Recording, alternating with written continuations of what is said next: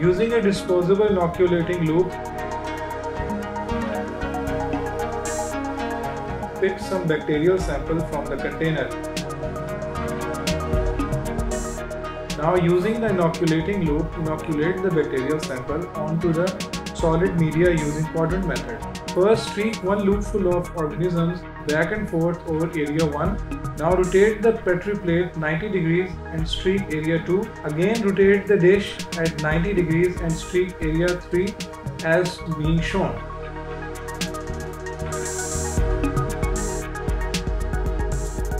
Discard the inoculating loop after use. Place the petri plate in inverted position.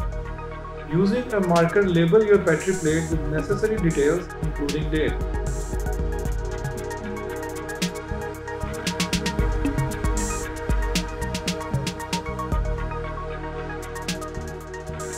Now inoculating using radiant streak method. Pick a loopful of sample from the container. Spread the sample in a small area near the edge of the plate in area 1. Create 4 or 5 straight streaks down the first streak as being shown.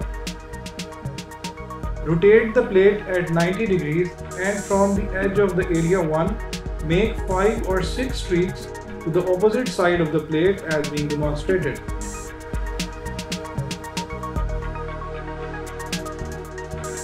Put the plate upside down over the cover.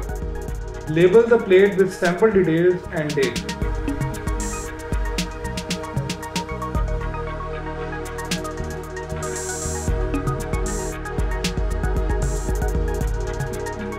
Now inoculating using continuous streaking method.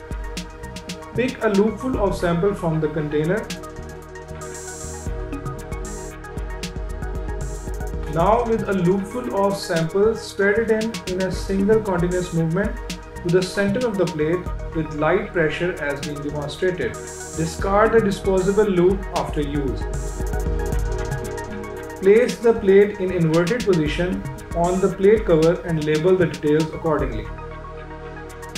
For the solid culture media, place the petri plates containing bacterial sample into the incubator at 37 degrees Celsius for 12 to 24 hours to check for bacterial growth.